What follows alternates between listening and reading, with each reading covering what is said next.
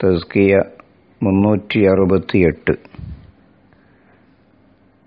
ഹദീസ് നമ്പർ അൻപത്തിയൊന്ന്.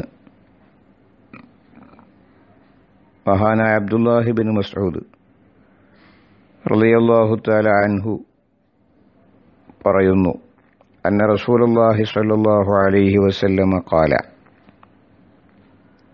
റസൂലുള്ളാഹി സ്വല്ലല്ലാഹു അലൈഹി വസല്ലമ തങ്ങൾ പറഞ്ഞിരിക്കുന്നു ഇന്നഹ സതകൂനു ബഅദി അസറത്തുൻ وأمور تنكرونها قالوا يا رسول الله فما تأمرنا قال تؤدون الحق الذي عليكم وتسألون الله الذي لكم ഇമാം ബുഖാരി മുസ്ലിം ഉദ്ധരിച്ച ഹദീസ് ഭരണാധികാരികളിൽ നിന്ന് നേരിടുന്ന അനീതിയിൽ ക്ഷമ പാലിക്കുക എന്ന സന്ദേശമാണ് ഈ ഹദീസ് നമ്മോട് പറയുന്നത്. അതോടൊപ്പം വരാനിരിക്കുന്ന ഭരണ സംവിധാനങ്ങളിലുള്ള സ്വേച്ഛാധിപത്യവും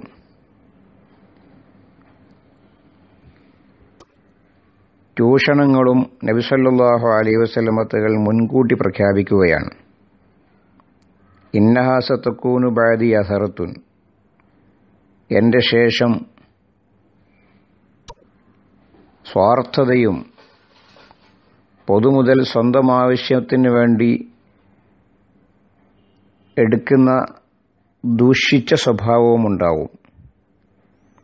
മറ്റൊരാൾക്ക് അവകാശപ്പെട്ടത് കൈക്കലാക്കാൻ ഒരു ലജ്ജയും ഉണ്ടാവുകയില്ല. അങ്ങനെ പൊതു അവകാശങ്ങളുള്ള ധനങ്ങളും സ്ഥാനങ്ങളും സ്വന്തം കൈവശം വെക്കുന്ന ഒരു സമ്പ്രദായം ഭരണമേഖലയിൽ വരും.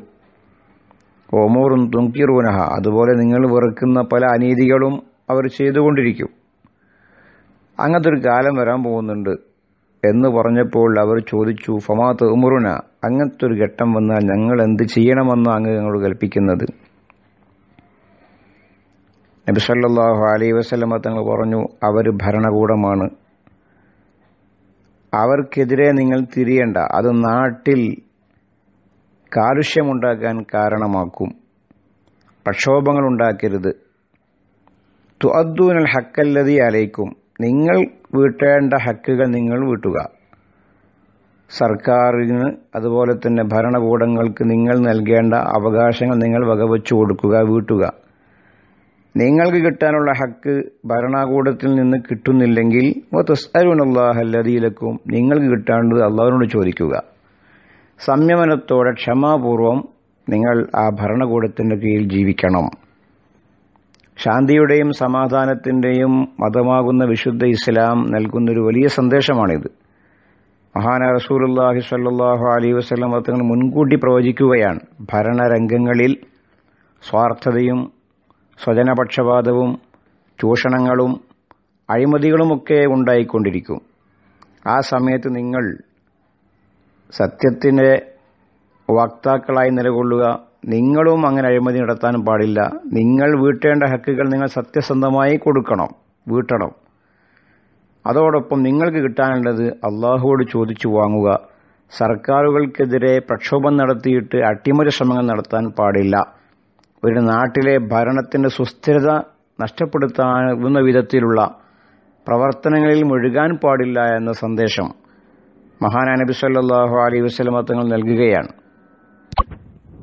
അപ്പോൾ ഭരണകൂട അനീതിയിൽ ക്ഷമിക്കുക എന്നത് കൂലി കിട്ടുന്ന കാര്യമാണ് എന്നർത്ഥം. തത്തുല്യമ മറ്റൊരു ഹദീസാണ് അൻപത്തിരണ്ടാമത്തെ ഹദീസ്. മഹാനായ ഉസൈദ് ബിൻ ഹുലൈർ റളിയല്ലാഹു തലാൻ റിപ്പോർട്ട് ചെയ്യാൻ അന്ന റജുലം മിൽ അൻസാർ അൻസാറുകളിൽപ്പെട്ട ഒരാൾ വന്നിട്ട് നബിത്തങ്ങളോട് ചോദിക്കുകയാണ് അലാ തസ്തഅമിലുനി കമസ്തഅമൽത തഫുലാനൻ ഇന്ന ഇന്ന വ്യക്തിയെ ഇന്നയും ഇന്നയും വ്യക്തികളെയൊക്കെ അങ്ങ് പല സ്ഥലത്തിന്റെയും ഗവർണർമാരായി നിശ്ചയിച്ചിട്ടുണ്ട് ഭരണാധികാരികളെ നിശ്ചയിച്ചിട്ടുണ്ട് അതുപോലെ എന്നെ എന്തുകൊണ്ട് അങ്ങനെ ഭരണാധികാരിയായി നിശ്ചയിക്കുന്നില്ല ഒരു അമീറായി നിശ്ചയിക്കുന്നില്ല ഒരാമിലായി നിശ്ചയിക്കുന്നില്ല? ഇതാണ് അദ്ദേഹത്തിന്റെ ചോദ്യം. അപ്പോൾ കൊടുത്ത മറുപടി ഇന്നക്കും സുത്തൽക്കോനബാദി അസറത്തൻ ഫസ്ബിറു ഹത്ത തൽക്കൗനി അലൽ ഹൗലി എന്റെ ശേഷം നിങ്ങൾ സ്വാർത്ഥതയും മറ്റും കണ്ടുമുട്ടും. ആ കാലത്ത് നിങ്ങൾ ക്ഷമിക്കുക. ഹൗലിന്റെ അരികിൽ നിങ്ങൾ എന്നെ കണ്ടുമുട്ടുന്നത് വരെ. സത്യത്തിൽ ചോദ്യത്തിന് നേർക്കുനേരുള്ള മറുപടി അല്ല ഇത്. അതിന്റെ വ്യംഗ്യമായ മറുപടി നിനക്ക് യോജിച്ചതല്ല അത്തരം ഏർപ്പാടുകൾ.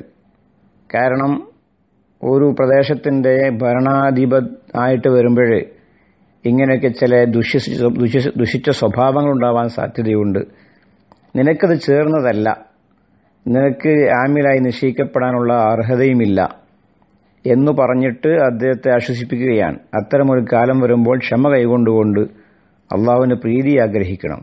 അപ്പം ഭരണകൂട ഭീകരതയ്ക്കെതിരെയോ അല്ലെങ്കിൽ ഭരണകൂടത്തിന് അനീതിക്കെതിരെയുള്ള ക്ഷമയും പ്രതിഫലാർഹമായ ഒരു കർമ്മമാണ് ഒരു സംഗതിയാണെന്ന് മഹാനാണ് നബി സല്ലല്ലാഹു അലൈഹി വസല്ലമ പഠിപ്പിക്കുകയാണ്.